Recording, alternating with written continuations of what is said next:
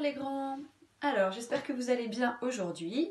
Dans cette vidéo, je vous donne vos trois missions de la journée. Première mission, un travail sur la sérénité. Vous voyez qu'il y a les trois écritures du mot sérénité.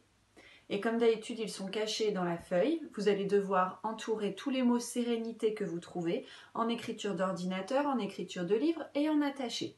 Bien sûr, vous savez que j'ai mis des pièges. Il y a des mots qui ressemblent beaucoup au mot sérénité. Il va falloir regarder les lettres une par une. Oui, c'est long, mais c'est la seule solution pour être sûr que vous ne tombez pas dans mes pièges.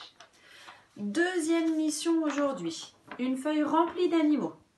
Dans chaque case, vous devez compter les animaux et écrire dans le petit rond la quantité qu'il y en a. Est-ce que vous vous souvenez de l'astuce que je vous ai donnée un jour? Pour être sûr de ne pas compter plusieurs fois les mêmes objets, les mêmes animaux Une des astuces qui pourrait être possible, ce serait de mettre un petit coup de crayon de couleur dedans ou de barrer l'objet avec votre crayon de couleur quand vous l'avez compté. Ça permet de ne pas le compter deux fois.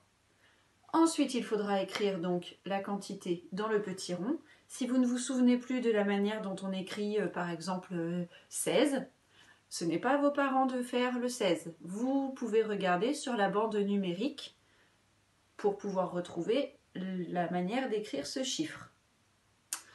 Euh, on écrit au crayon de papier, bien évidemment, comme d'habitude.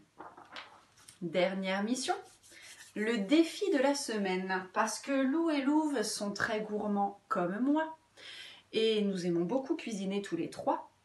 Donc le défi de la semaine, si vous voulez bien le relever, il va falloir que vous nous montriez une de vos réalisations en cuisine. Ça peut être euh, une entrée avec une salade de tomates, ça peut être une tarte, une quiche, un dessert, ce que vous voulez que vous ferez avec vos parents. Parce que Lou et Louve et moi, nous avons très envie de regarder ce que vous avez fabriqué. Ça nous, ça nous donne l'eau à la bouche. Nous avons très envie de voir ce que vous allez manger chez vous. On essaye de faire ça?